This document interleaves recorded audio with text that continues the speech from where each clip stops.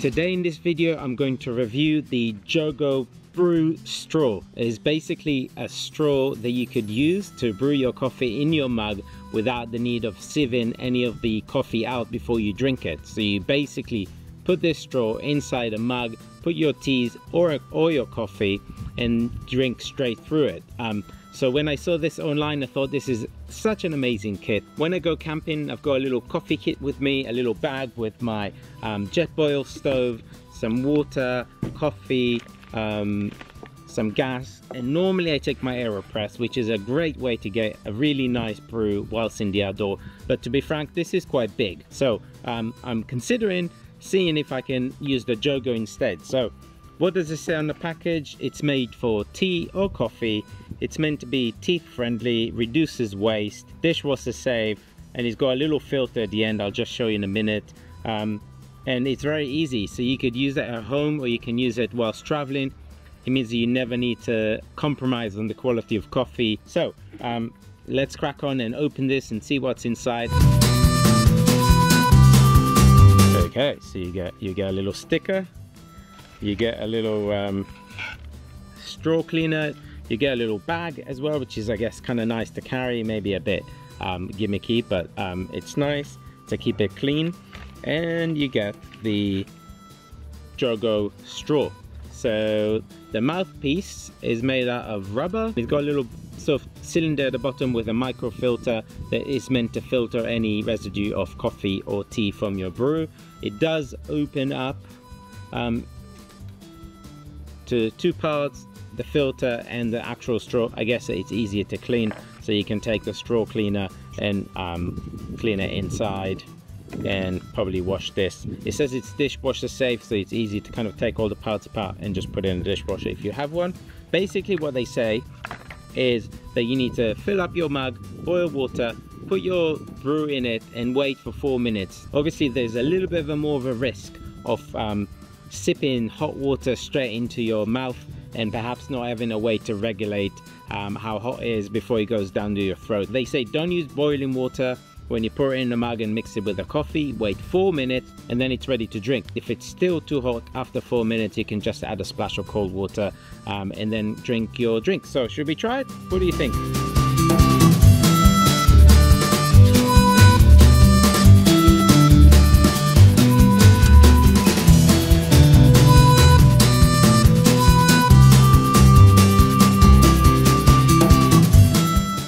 And now we'll wait for four minutes. Whilst we wait for the coffee to be ready, do subscribe to our channel, The Band Family Adventures. My name is Gil.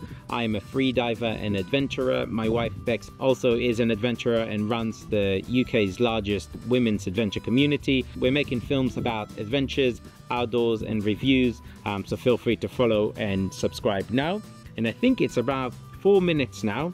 It's still quite hot. Normally I'd be able to sip through the coffee now and it's just because it's the first time of using the Jogo I'm gonna wait another minute to make sure it's cold to touch before I, I drink it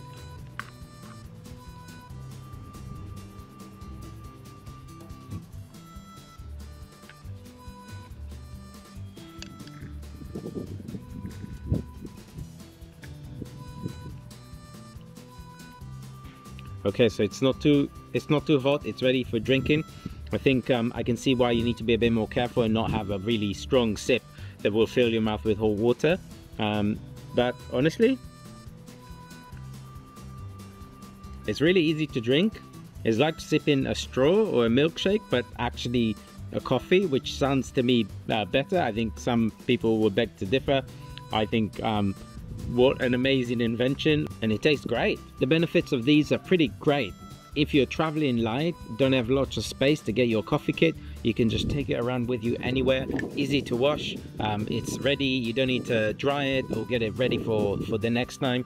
So it's absolutely fantastic. It's super lightweight and it's built quite good like it's it's proper robust and I really think it would last for a long time. So I guess the cons are you need to be a bit more careful about not sipping it hot. And the second thing is perhaps once the coffee is brewed you shouldn't stir the coffee too much because you could get a little bit of the bitterness of the coffee that sinks to the bottom and if you take too long drinking this coffee um, it can get quite bitter. So I've been waiting for, I'd say maybe six or seven minutes, and I do taste a little bit of bitterness to the coffee that perhaps I wouldn't have done if I would filter it all out. Perhaps I put too much coffee, and next time I'll try less because the coffee keeps brewing inside the drink whilst you drink it.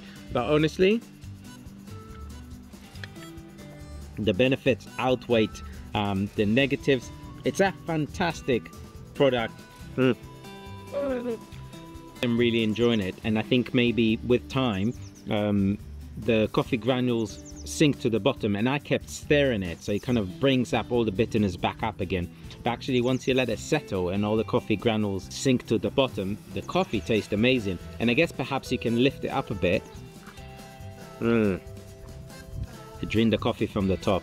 So the verdict I absolutely love it. So the Jogo straw cost around 24 pounds or 30 dollars and I really think this is a great invention. I have seen these straws before but not with the lip that protects your mouth and it's really robust and I think it's really made for it. I really think for hikers or anyone that is trying to save some space, the Jogo is the best smallest coffee kit you would ever need. If you have any questions, comment below, subscribe to our channels and thank you for watching the Band Family Adventures.